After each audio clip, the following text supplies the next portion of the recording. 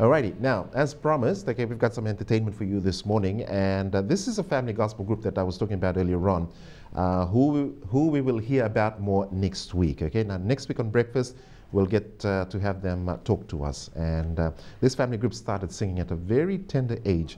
Uh, they went on tour to the Pacific Island nation as a family. they have now grown up. they have children and are in the early stages early stages rather of making a comeback to the gospel music scene. Okay, and I had made, made mention of Puamau and his sisters. Okay, now if you remember the late 80s into the early 90s, okay, this group had started back then. They took a break, and uh, it looks like they're coming back, as, um, as I had mentioned earlier on. Uh, they're in the early stages of making a comeback to the gospel music scene. Okay, well, here they are, Puamau and his sisters, uh, with a song for you this morning, I Surrender My Life. Lord Jesus, take my life.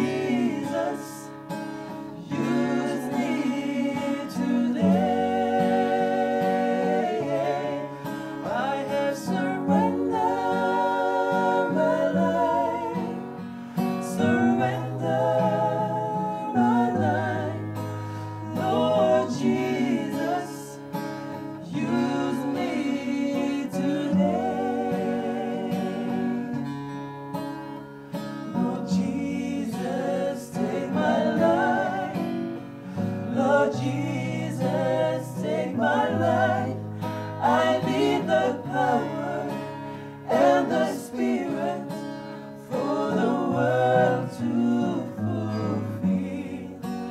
I'm still waiting for that Master, still waiting for that Master with His glory to take me home to the goal.